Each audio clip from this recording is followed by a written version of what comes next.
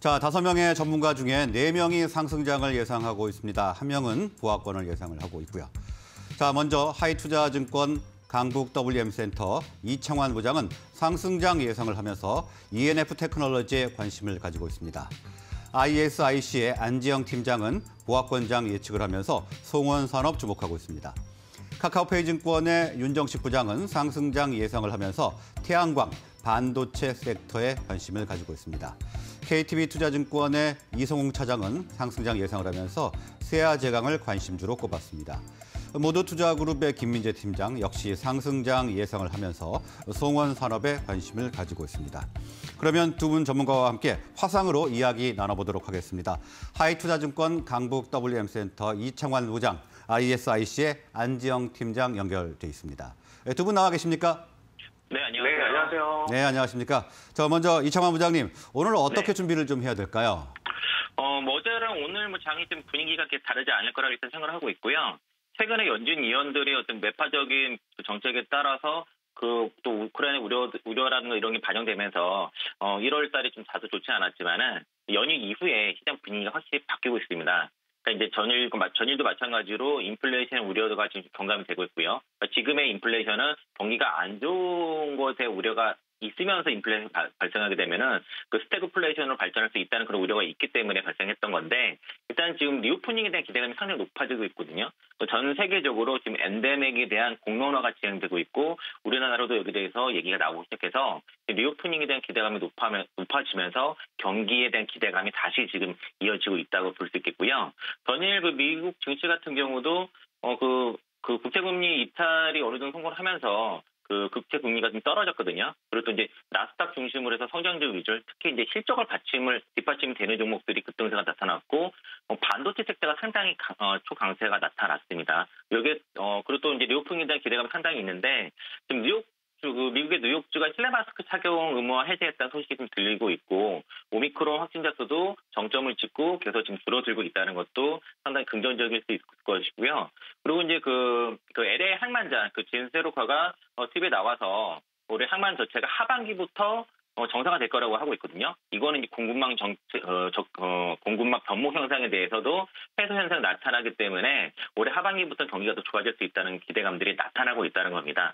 따라서 이제 지금 시장의 주도주가 바뀐 게 연휴 이후로 reopening 종목들이 지금 시장 주도주로 지금 나서고 있기 때문에 우리나라도 지금 정부에서 전자 출입 그 출입 자 명부 그 시스템에 대해서 지금 해제 검토하고 있겠다는 얘기가 나오고 있고 셀프 방역 체제로 전환됐다는 거거든요. 그러니까 이게 이제 우리나라만 방역을 강화하기는 어려울 것 같습니다. 네, 전 세계 글로벌 트렌드가 이쪽으로 간다 그러면은 이 reopening주가 1차적으로 그 어, 주도주 나서는데 제가 예상하는 거는 3월 달에 그 LG 에너지 솔루션이 그 코스피 200에 편입되기 직전 전까지 한 3월 한 중순 전까지는 미흡품 종목들이 시세, 시장을 좀 이끌을 가능성이 높다고 보고 있고요. 그 이후에는 또 삼성전자라든가 어, SK 하이닉스, 그러니까 그 LG 에너지 솔루션에 대해서 피해봤던 대형주들, 수급에 피해봤던 대형주들이 다시 시장을 이끌 가능성이 있다라고 일단 보고 있고 어제 이제 반도체 종목들도 미국 시장이 좋았기 때문에 최근에 반도체 종목들이 상당히 많이 빠졌거든요. 저점을 많이 조정을 많이 받았기 때문에 reopening 종목들을 중심적으로 단기 주도주를 여기면서 같이 가져가고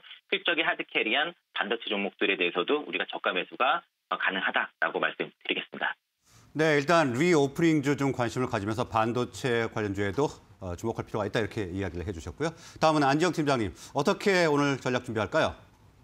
네, 최근에 이제 코스피 보시면은 2,700선 여기서 이제 등락을 좀 거듭을 하면서 변동성 장세를 이어가고 있는 모습인데요. 배럴당 90달러대 유가와 물가 상승 그리고 금리 인상에 대한 우려가 복합적으로 좀 작용을 하면서 쉽사리 좀 방향을 정하지 못하는 모양새입니다. 최근에 유가 강세는 연출 예상과는 좀 다르다는 점에서 불확실성이 좀 상당히 높아지고 있는 상황이고 우크라이나를 놓고 미국과 러시아의 긴장감도 점차적으로 좀 고조가 되고 있는 상황도 시장 변동성을 부추기는 요인인데요.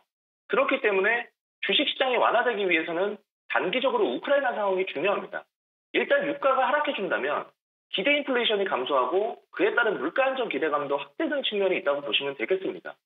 현재 우리 시장은 우크라이나발 지정학적 우려와 다음 달에 열릴 FOMC에서의 금리 인상 이런 우려감에 대한 부분을 1분기에 어느 정도 서서히 바닥 구간을 확인해가면서 이런 악재들을 지속적으로 해소해가는 구간으로 보시면 되겠는데요. 인플레이션도 시간이 지나면서 3에서 4% 수준으로 안정이 될 것으로 예상이 되는 부분이고 최근에 국내 증시가 부진한 상황에서 B2, 소위 빚내서 투자하는 신용융자 잔액이 연내 최저치로 떨어진 점도 긍정적인 부분으로 보실 수가 있습니다. 보통 지금까지의 증시 흐름을 보면 시가총액 대비 신용 잔액이 상승하다가 하락 전환한 이후에 반등이 나오곤 했는데요.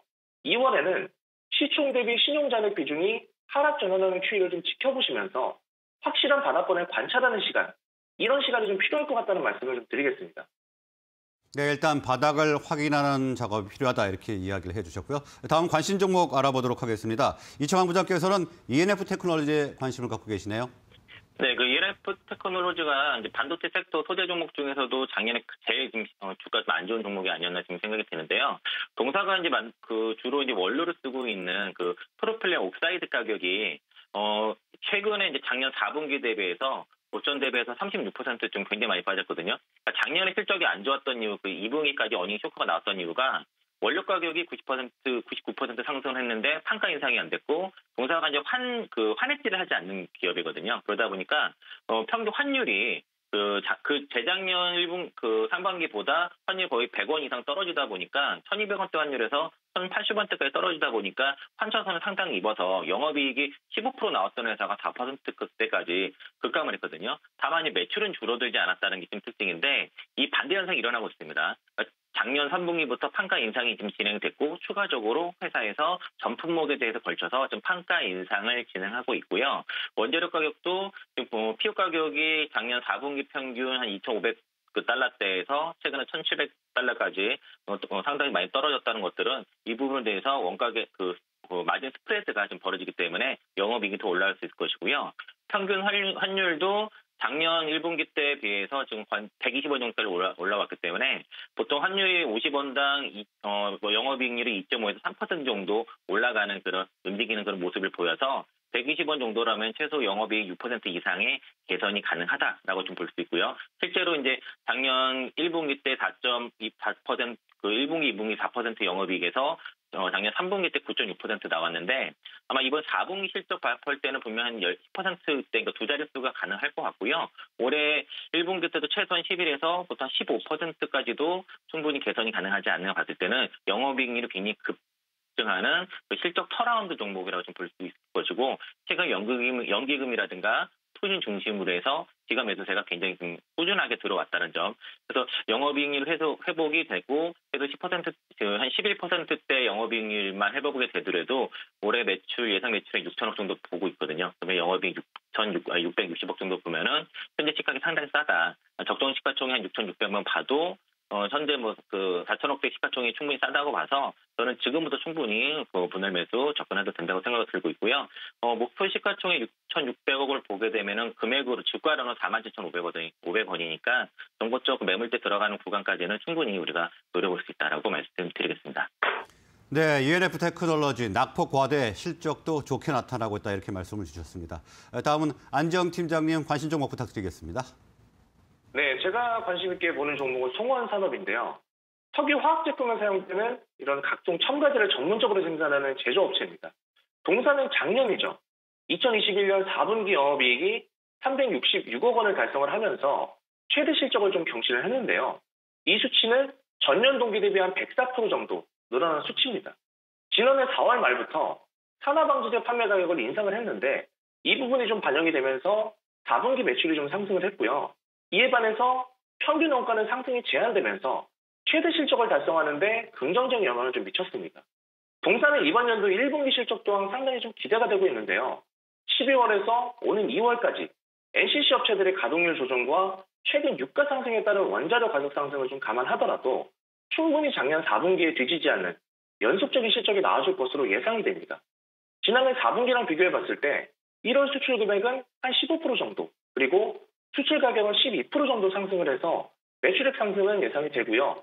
역시 1분기 평균 원가는 전분기와 비슷할 것으로 예상이 되는 부분입니다. 이런 시장이 또 유지가 된다면 훨씬 좋은 실적을 기대해 볼 수 있겠습니다. 동사는 2021년부터 포토레지스트용 폴리머 3종을 개발하고 생산을 시작을 했고요. 2022년 2월에는 추가, 상, 추가 라인을 가동하면서 PR 첨가제 2종 등 9개 이상의 제품 생산도 예정이 돼 있기 때문에 실적 흐름에 따라서 중장기적으로 좀 기대감을 갖고 보시면 좋으실 것 같고요.